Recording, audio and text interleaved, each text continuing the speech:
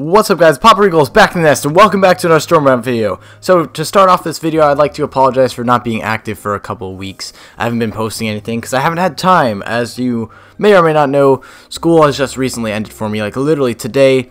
So I had a bunch of finals and projects to uh, actually complete, so that's why I couldn't record any videos.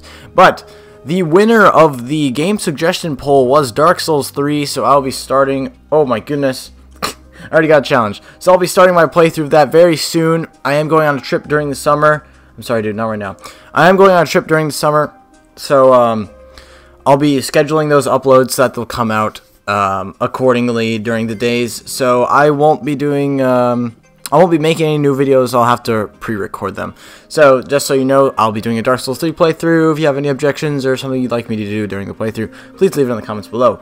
But today, Today is a very special day because, you know, I was thinking, well, Stormbound content is getting a little bit stale. You know, I can keep making custom decks.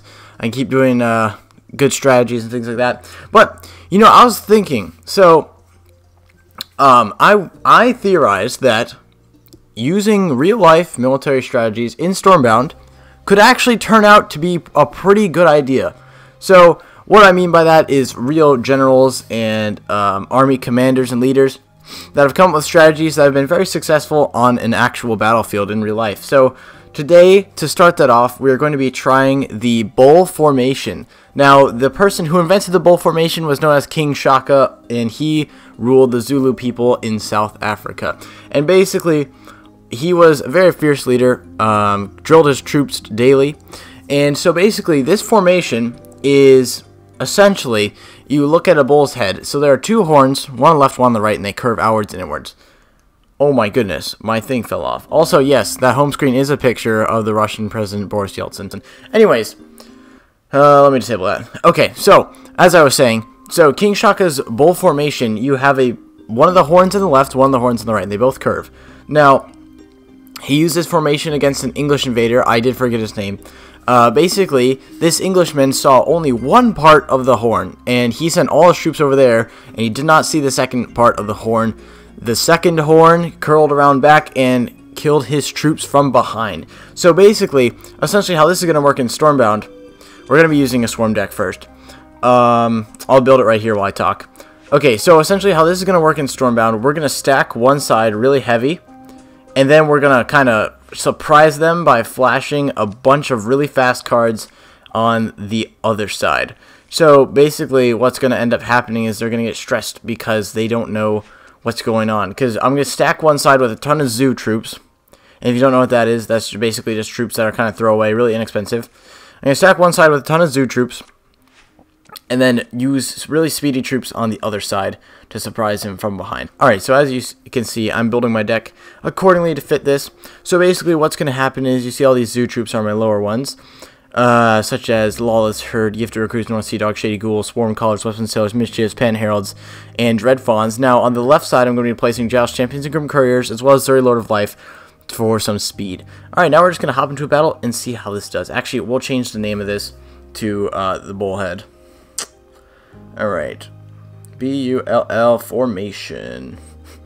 Alright, let's hop into a battle and see how it does.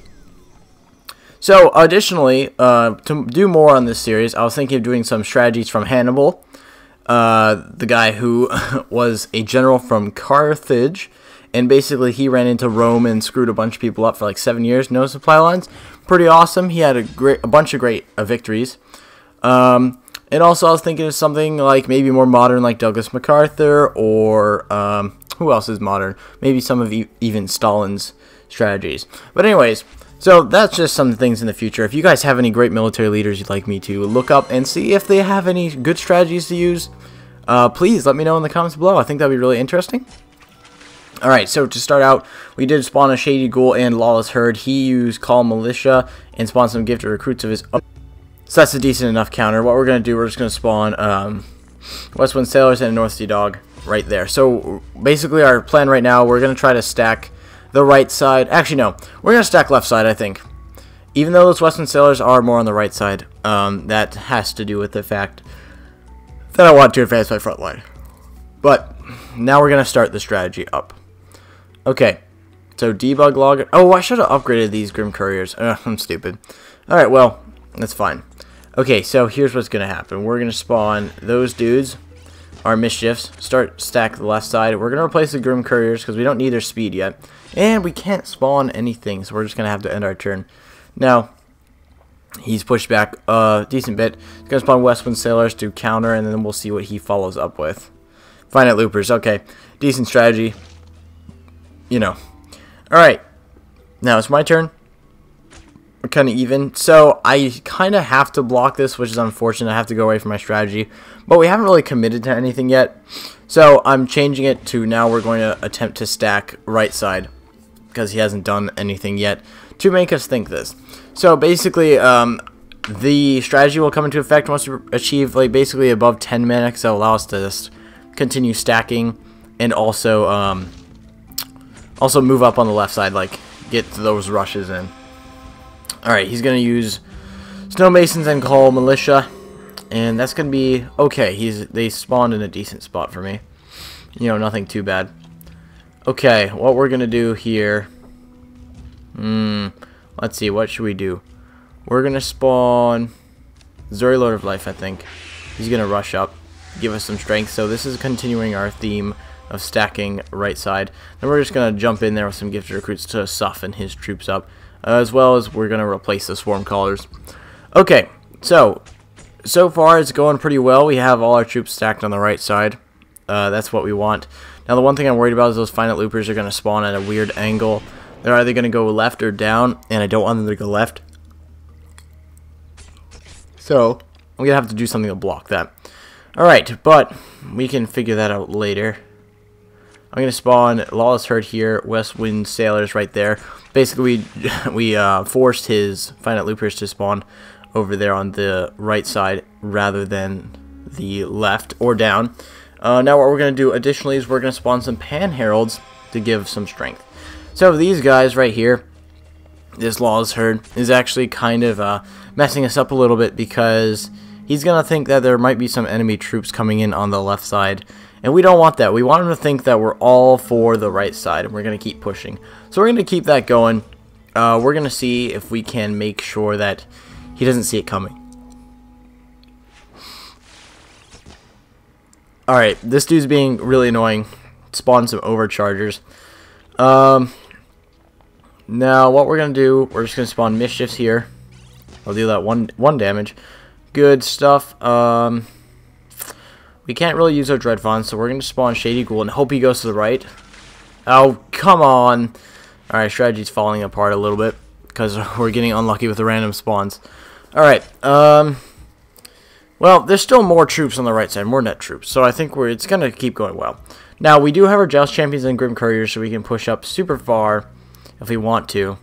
But, we don't have anything to attack yet, so we'll have to wait and see what he does. Now, on the next battle, I'm going to definitely try to um, start stacking on purpose. Like this time, it didn't really go as planned, so we'll try it again in another battle in this video. And hopefully I'll be able to show you guys that is effective. Okay, what we're going to do now, we're going to replace Grim Couriers, because I don't see a lot of use for them. Uh, then we're going to spawn Joust Champions, and that's going to use a lot of our mana. And we're just gonna let that guy pass on the right side or on the left side. Now the reason I'm doing that, obviously normally I want to kill him. We're gonna let him pass so that our enemy uh, defends only on our right side because he won't think there's a threat coming in from the left. Now this is actually going along pretty well. He has, I haven't seen him really buff up his left side troops that much. Maybe he'll do it now. No, okay. So he's falling into our trap. He's spawning all of his cards to counter ours. Ooh, that could be an issue.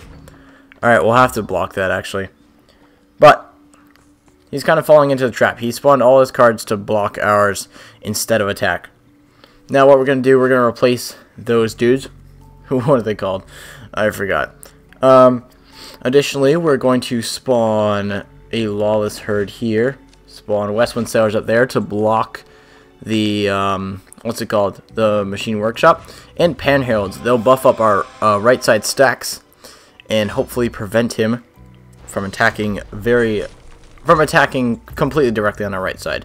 Now, what he'll probably do is clear up the left side so Mech Workshop can start spawning. And that's fine. We just need to equal out. Okay, so he spawned his Veterans of War. That's fine by me. Uh, we don't really need to bother with that, actually. They've only got four. Alright, now Snow Masons are going to give some decent buffs.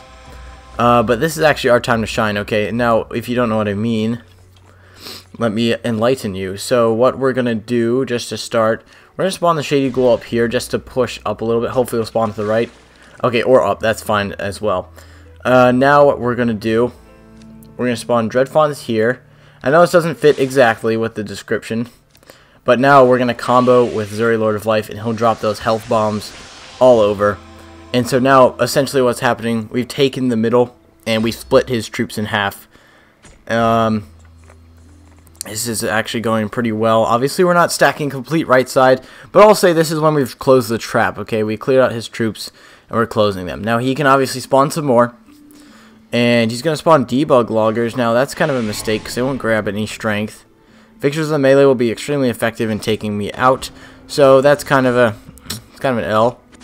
Um, now, what can we do additionally? Okay, so problems that we have to identify here. Mech Workshop is going to be an issue. These dudes over here, the Battle Knights, they'll be an issue. Okay, to pick...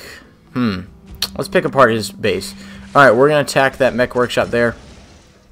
Replace Grim Couriers. We don't need to push up any more than we already are. Uh, spawn those Joust Champions. We're going to take him out once again. Kind of trying to make it appear as though we have more troops on the right side. Uh, now, a good bit of this strategy actually comes from a little bit of deception, actually. So if you can make it seem like you've got more troops on the right side, they'll be more inclined to block on the right side. So, that's where part of our strategy comes from. We're going to try to make it look like we got a ton of stuff. And that's kind of what I meant by spawning the zoo creatures. Spawning more zoo troops on the right side would make it appear as though we have more, while we actually don't. But that didn't kind of that didn't really work out so well, as we got unlucky with some RNG, and he spawned the mech workshop. So he did a thing that uh, actually occurs in a lot of sports, and obviously this is a little bit random, but basically uh, this especially happens in hockey. So he employed a strategy where he split the ice. He moved. Alright, this will be in hockey terms. He moved the puck from the strong side to the weak side. Now, strong side is where most of the players or troops in this case are stationed. And that's what he did. He transferred the sides, so basically that opens up more opportunities for him to pass, uh, in hockey terms obviously, for him to pass or to um, move elsewhere. And that was actually a very good play on his part because it definitely opened him up a lot, makes him less susceptible to all-out attack. But now what we're actually going to do is we're just going to decide to try to split him again. We're going to go straight up the middle and see how that works out. So we do have our troops on the right and left flanking, which should be good. They'll protect us from a lot of damage uh, that he could inflict by going on left and right side. He'll probably try to spawn a mech workshop on the left side. It'll be a mistake, though, because I'll easily be able to push up and block it. Um, then, oh, yeah, see, predicted, easy. Okay, then after that, uh, he'll probably spawn his Veterans of War and call Militia. And let's see, one other, maybe Victors of the Melee if you got them. Debug Loggers, once again, they'll actually be able to gain their strength. They'll be right back up to a good old 5 health. That's perfectly okay with me. Snow Masons for the combo, and then Call Militia is probably going to finish off his turn. Never mind, he didn't have it in his hand. I'm cool with that. uh, what can we do? So, our, these guys are going to crash, and that goes in my favor, actually. Snow Masons are going to activate their effect. Guess what? We can mess him up. Uh, we're going to replace that we're going to spawn... Hmm. I'm trying to combo. Trying to figure out how I could combo this. Um... Alright, we're just going to break his mech workshop. I don't want that messing about in my business. Uh, we're going to spawn a Shady Ghoul here. Deal that one damage. Now, we're going to spawn... Yes, that's a good idea, right? Yes.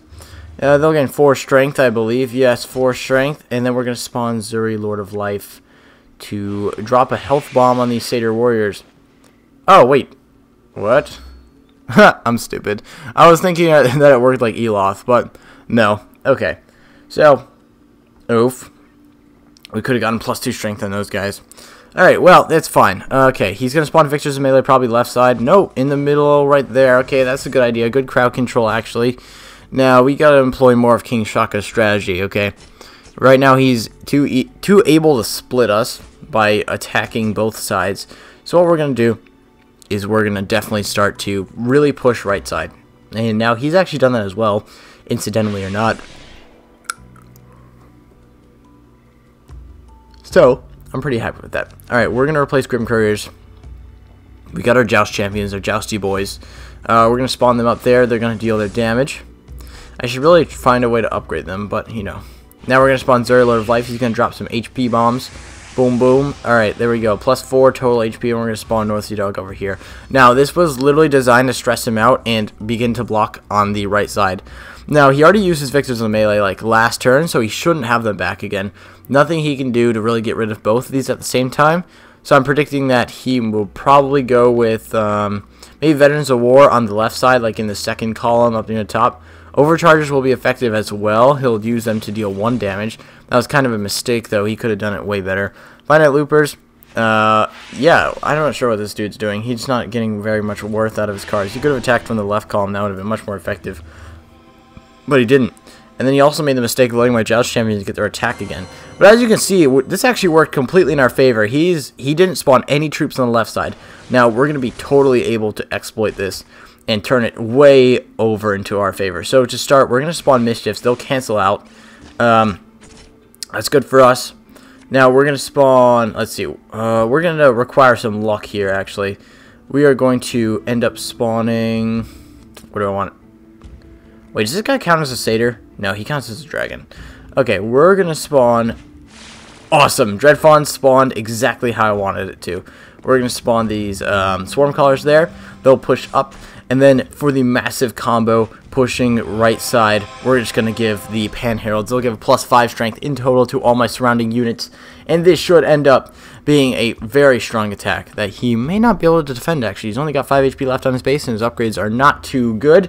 So, I'm feeling fairly confident. I know normally I get kicked in the butt when I say I feel fairly confident, but this time I feel fairly confident. So he spawned Heroic Soldiers. They're going to push up Veterans of War as well. He's going to use them to block Xuri Lord of Life eventually. Um, let's see what else he's going to do. Snow Masons, then if he has it, Call for Militia or Gifted Recruits. That's what I'm predicting for his turn. Uh, let's see. No, ended it. He didn't have the cards. Okay, he couldn't cut it.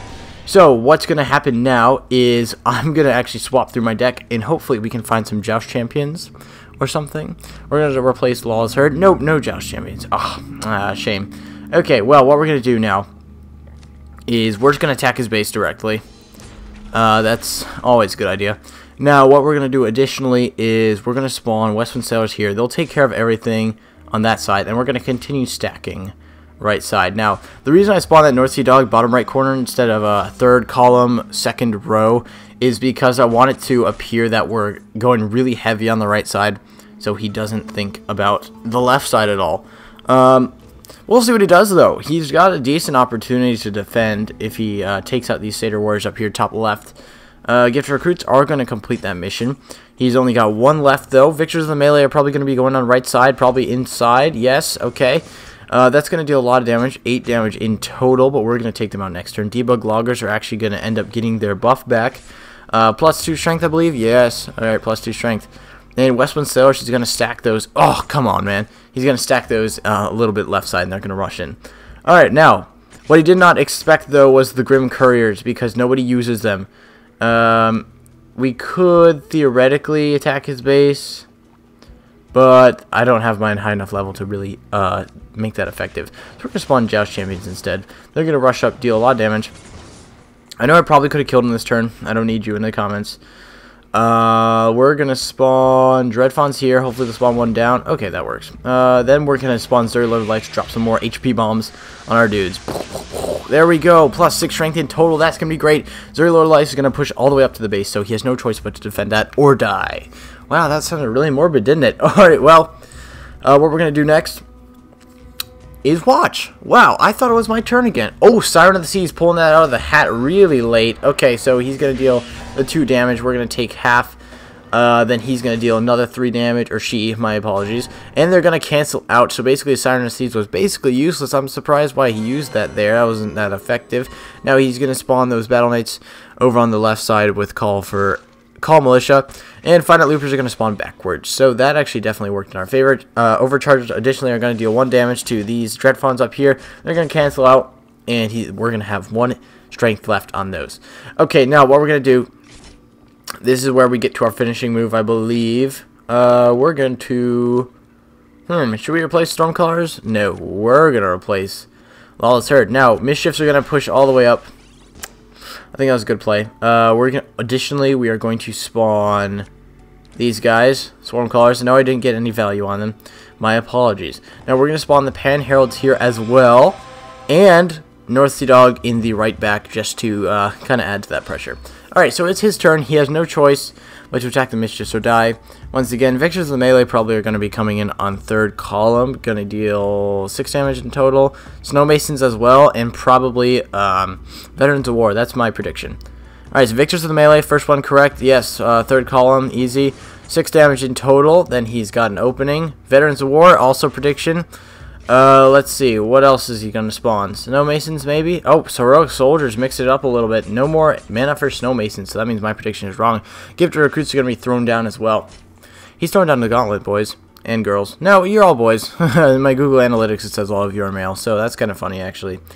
Uh, let's spawn Dreadfawns here. Yes, Dreadfawns here. Okay, we got to be confident in our moves. Otherwise, what are we?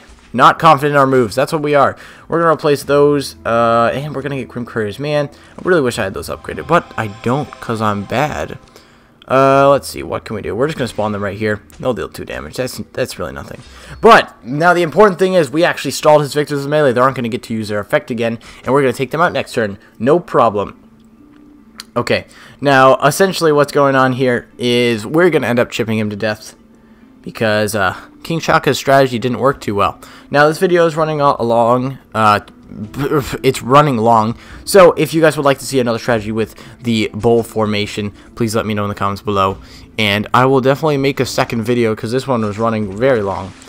Um, additionally, any other strategies, leave it in the comments. And if you have any comments, concerns, or questions about the Dark Souls 3 play playthrough that's coming up, please let me know. Okay, he's going to spawn debug loggers, and that's a big mistake by him because he's actually left a major opening, which we will use to kill him. Oh, that is... Oh, that makes me angry. Okay, well, we can fix that. And three, two, what, wait. Handshake. And finish. Ah, there we go, fellas. So, I'm not sure if that win was attributed to the strategy I was employing or maybe just like hmm, me being a better player. I don't know. We're going to get our 50 coin bonus and we're going to roll up to 1 star on 23, complete a couple quests. We're going to collect those. Uh, what else can we do? Nothing. Oh, Grim Couriers. We're actually going to buy these. I need them. Wait. Wait. I've been debated. I could have upgraded them. Okay, so we're actually going to upgrade them right now. Grim Couriers, get upgraded, fool. Alright, cool. Now they're going to have three. That makes them way more effective, actually. So I'm very happy about that. And additionally, we are going to just going to go to the shop and buy one because I have a feeling I'm not going to get them in packs very often. Alright, well, and once more, we're going to check the friends list. I think there's about like 120 of you in here, which is pretty crazy. Also, our subscriber count is like 430 or something, like 430, I mean. So thank you guys for that. Alright, looks like that's going to wrap up the video. If you'd like to see another video using King Shaka's uh, bull formation strategy, please let me know. So thank you guys so much for watching. Don't forget to leave a like. No, I'm sorry, Andrew. I can't do this right now. Uh, don't forget to leave a like. It'd be cool if you leave a comment. It'd be super you subscribe. See you guys next time.